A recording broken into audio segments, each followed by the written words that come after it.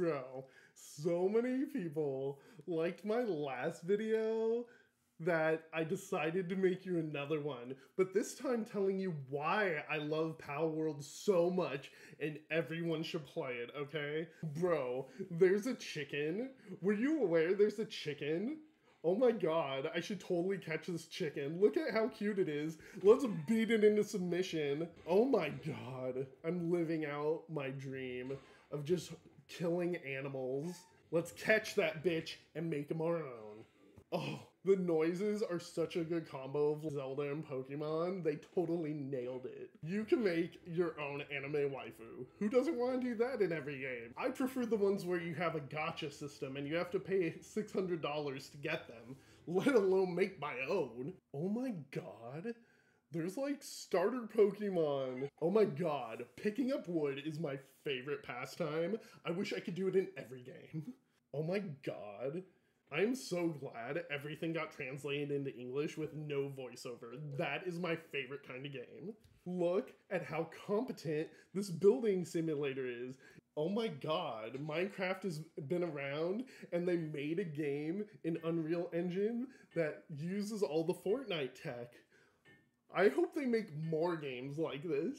The thing I like more than just leveling is going through a grid and unlocking things that I then have to turn around and slowly build. It gives this real good sense of progression. I'm wasting all of my free time to chase a carrot on a stick, and that carrot happens to be shooting Pokemon with guns. Who doesn't want to do that? Campfire. Oh my god, I hope I can rest at it and cook food. That is my second favorite thing to do after picking up wood. I love wooden clubs so much. You would think you want a Pokeball, but you really just want a wooden club. Now that I have a wooden club, let's make some Pokeballs and I can enslave the race around me. Who doesn't want to capture little animals in a ball and then force them to do slave labor? It's the whole point of the game! When I come into games to shoot Pokemon with guns, there's nothing I love more than being shown something I wish I could get Dinosaur Pokemon, those are my favorite. But first I gotta make a workbench because it's a survival game. And ever since I grew up playing Minecraft and don't know any better, every game must have a crafting table. Why would I make a, a game where things are made for the player? Let the player make it themselves. Come on, it's 2024. I just am here to beat up helpless animals with a wooden bat I created at a primitive workbench. And look, it's dead. Isn't that funny? Oh my god, how did Nintendo not make this game? Oh my god, it's so edgy. No one's ever done this before, guys. You know what I love about games these days is none of them are finished. They just release an early access or game preview or closed beta or whatever you want to call it these days, and it allows me to feel what it's like to be a game tester.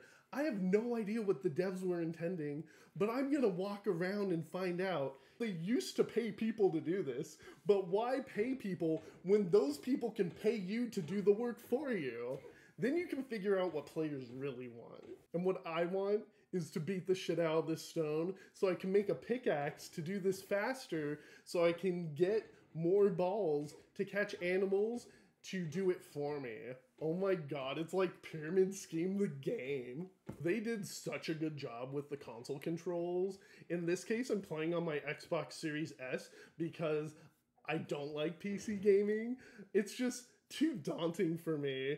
I wish I bought every game on sa- super sale so the devs get no money for the game they built, and then I can instead just like fund it at 1 minute and 59 seconds. It's not gonna happen with this game because I have to beat up so many trees. They're just running that clock, man. My favorite thing in games is weapon damage and worrying about my hunger. I wish someone took Breath of the Wild Metal Gear Solid Snake Eater and smash them together. Building campfires, personal joy of mine. Let's do it. Oh, I'm using a hammer to build some wood on the ground. This is the most original game. Can my chicken do it for me? No, chickens don't have hammers. You silly goose. Oh my god.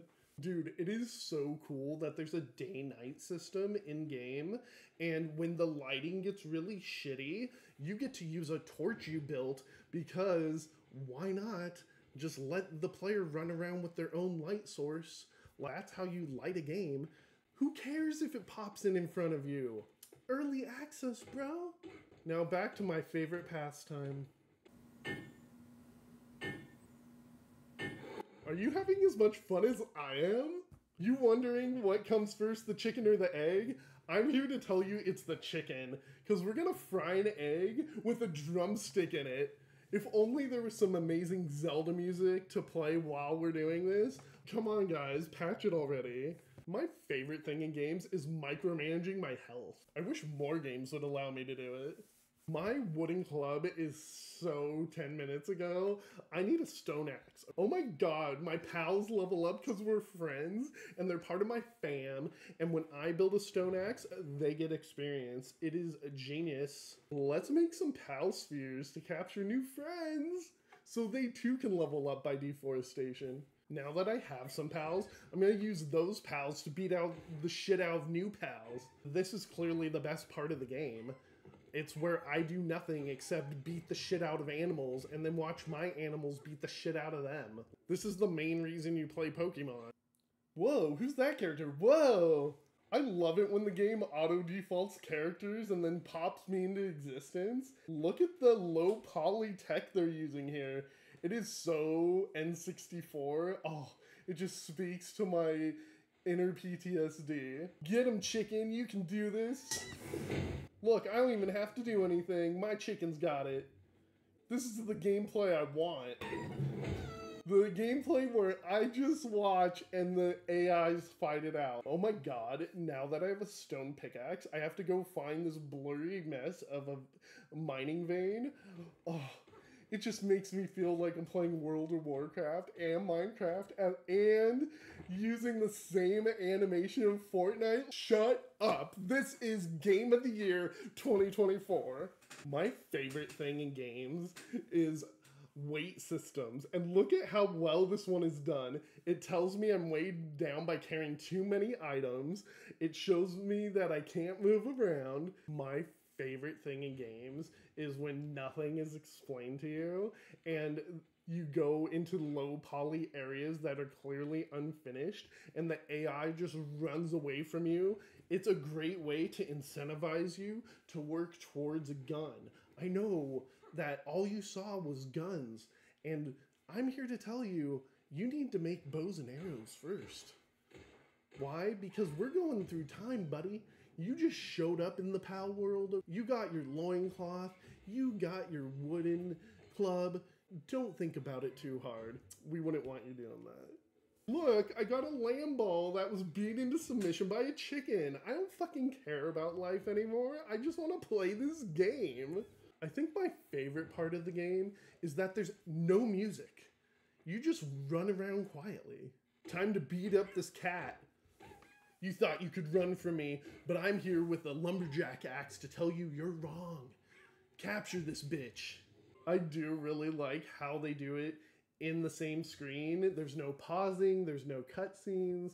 They clearly know what they're doing, except you have no control over your player. And who wants to these days? Let AI do it. Guys, let me show you my favorite part of my hour playing Palworld, and this will teach you why you should play it. It has so much content. I've played for an hour and I'm level four, and each level takes longer than the last.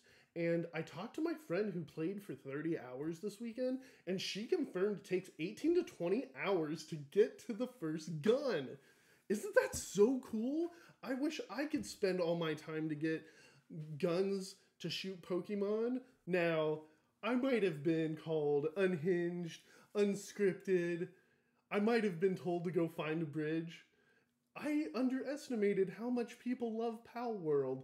It's like all the salty PC gamers and all the Pokemon people and survival game tryhards got together and made a game.